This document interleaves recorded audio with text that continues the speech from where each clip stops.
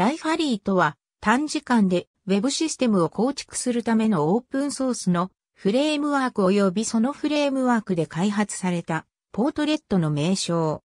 または前述ソフトウェアの有償版サブスクリプションを提供している会社の名称。無償のコミュニティ版のフレームワーク及びポートレットのセキュリティパッチ、バグフィックスなどはコミュニティによって管理、改善されている。Java で開発された当ソフトウェアは JBoss、Apache Tomcat、WebSphere など多くのアプリケーションサーバー上で動く。従来の Web システムは Web ページ単位で開発されていた。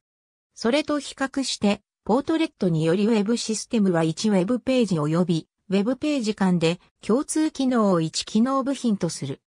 コンテンツ管理システム SNS グループウェア用のポートレットが提供されているが、文書管理、アンケート、スケジュール管理など90以上の機能部品がすでに実装されている。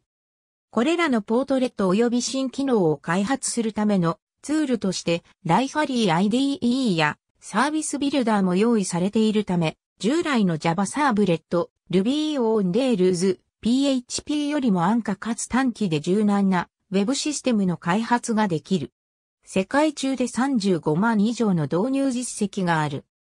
ライファリーをカスタマイズして高度なウェブサイトを構築することもできるが、IT 技術に詳しくないウェブデザイナーでも1ファイルをダウンロードして2ダウンロードしたファイルを回答して3実行するだけで自分のウェブシステムを立ち上げることができる。ウェブブラウザに表示される HTML エディタを使ってページを作成することもできる他にもユーザー管理、ウェブページ管理、セキュリティ設定などもウェブブラウザから行うことができる。提供者によって企業ポータル、CMS、SNS、文書管理システムなどのように用途ごとにポートレットをバンドルして配布されている。ライファリーは2000年にブライアンちゃんにより非利益団体が安価にウェブシステムを構築、運営できるソフトウェアとして米国で開発された。2004年に会社が米ロサンゼルスに会社が設立された後に欧州、アジア、南米なので支社が設立された。近年では、クラウド上での利用が増え、ポータルというより、クラウド上の開発フレームワークとして利用され、始めている。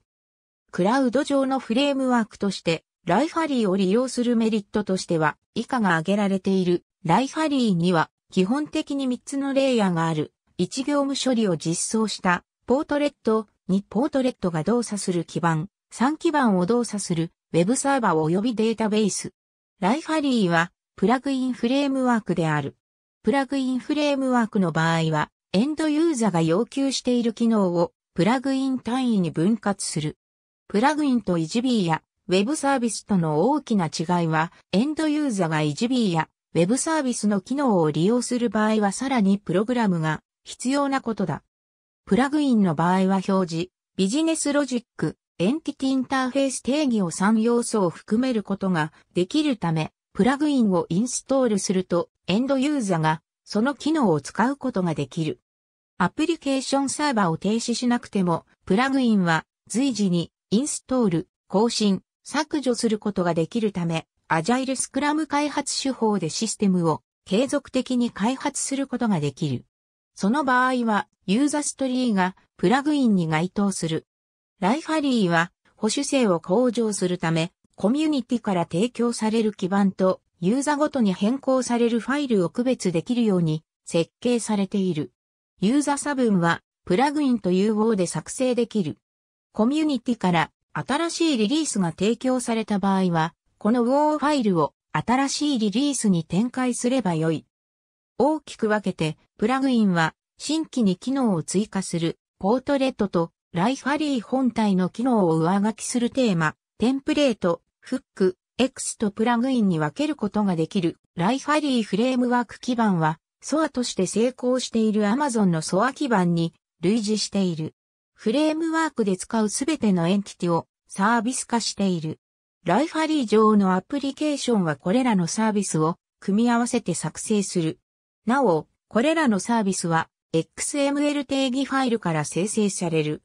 サービス、XML から Java クラス、WSDL、JSON の他にもデータベース用の SQL 文も生成される。SQL 文はポートレットをライファリーにデプロイされた時に自動的に実行され、データベースにテーブルが生成される。それらエンティティサービスを組み合わせて業務サービスを作成する。業務単位でポートレットを設計しておくと、ポートレットを入れ替えることで業務を変えることができる。従来のコンポーネント化や Web サービスによる SOA は IT 処理単位で業務どころを行えるようにするには別のソフトウェアを必要としていた。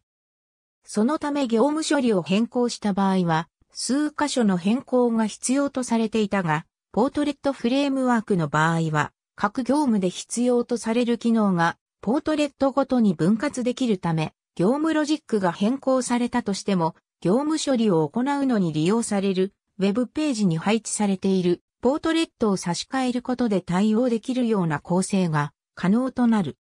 ライファリー IDE とは、各種のライファリーのプラグインプロジェクトの開発を支援する Eclipse プラグインである。Eclipse バンドル版もあり、Java がインストールされている環境では、ダウンロードしてからすぐに利用できる。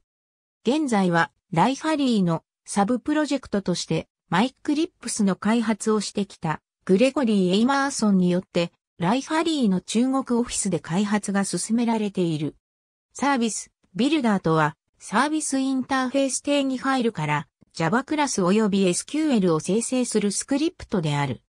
ポートレットがアプリケーションサーバにデプロイされると、SQL 文が実行され、ライファリー用のデータベースにテーブルが作成される。